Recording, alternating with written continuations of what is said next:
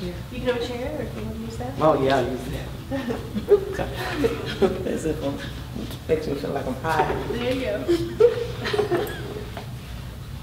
We still see you. I know you see me. I don't know what I'm gonna read. I'll, um, well, I thought of this one first because, um, What's your name? oh, Olivia. Olivia. Mhm. Olivia Walker. Um, I'm here from uh, Fort Hood. I'm from Indiana, but um, I was born in Indiana, but I was in the Army for 24 years, so I'm done with that now. So this one is, um, it says, uh, live. That's what my fallen comrade would say. Yes, I would tell you to continue to survive, remembering every moment shared will keep me alive. You will never know why I was chosen that day, but my journey was over, so God took me away. Your sorrow, your tears are a part of grief. Know that I am free from pain. Oh, what a relief. If I had one more chance to give you advice, I'd tell you to live out your dreams, stay in the fight. Your journey is still going, you have choices to make. I expect you to keep trying despite the many mistakes. So please don't give up when your heart feels pain. When you continue to live, I know my dying was not in vain. So cry when you need to, then wipe your eyes for me. I'll see you on the other side when you finish your journey.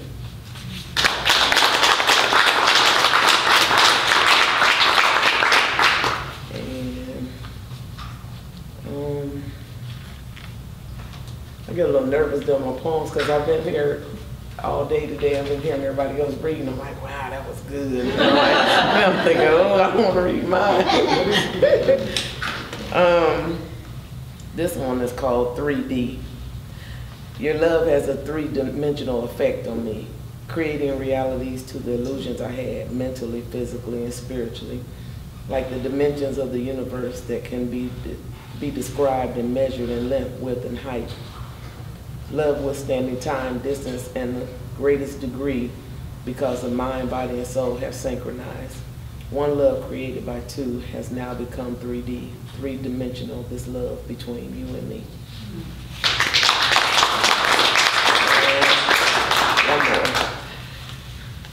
Um,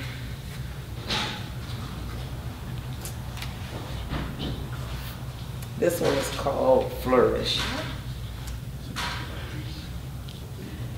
I had to step back, I had to step back a moment to observe the beauty. Just as a flower blooms so vibrant in the spring, I admire its unique form and elegance, not to touch a thing, not to disturb its being and its purpose to grow and beautify, not to pluck it for myself, for soon its splendor will wither and die.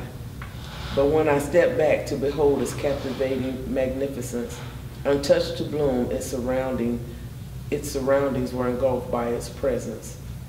If I leave it on its natural course, its bloom will not die too soon. So I step back to observe your beauty as a flower in full bloom.